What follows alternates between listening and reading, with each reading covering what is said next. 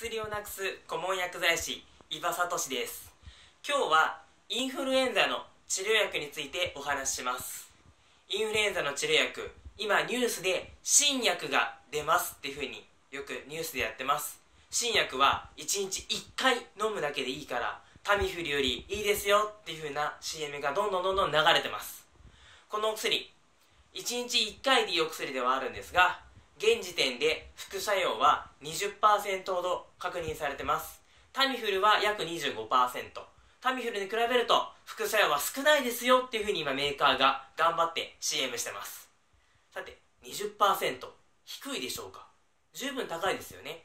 しかも怖いのは1日1回の服用でいいということはおそらく1回である程度の期間体の中に残り続けるタイプの薬ということが推測できます。ということは回飲んで副作用が起こったとしても体から出すことはできません。中止もできません。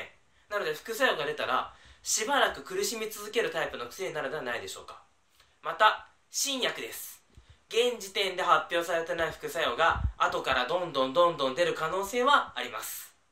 タミフルがとある時から異常行動が問題になって死者が出るようになってから副作用が有名になったようにこのお薬も何らかの副作用が後から出る可能性があります。インフルエンザになったら薬を飲む。